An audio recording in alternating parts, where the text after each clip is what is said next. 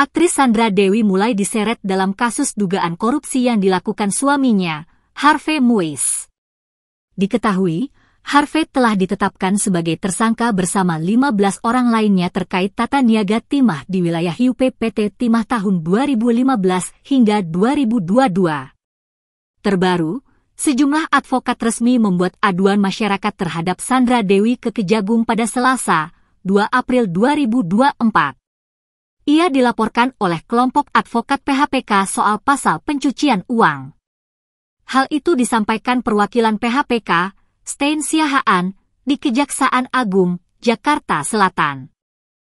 PHPK menyebut bahwa Sandra Dewi seharusnya tahu sumber penghasilan suaminya. Kelompok advokat tersebut juga membawa beberapa bukti, termasuk pemberitaan media online. Adapun disebutkan, dengan menerapkan pasal TPPU ke Sandra Dewi, diakini akan lebih mudah dalam menjerat pihak yang ikut menikmati uang haram dari tindak pidana korupsi.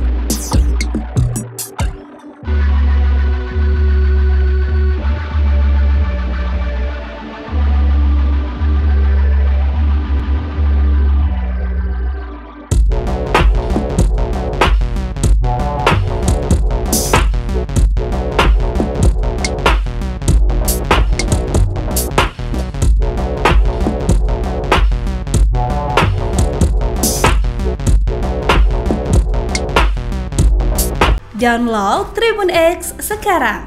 Menghadirkan lokal menjadi Indonesia.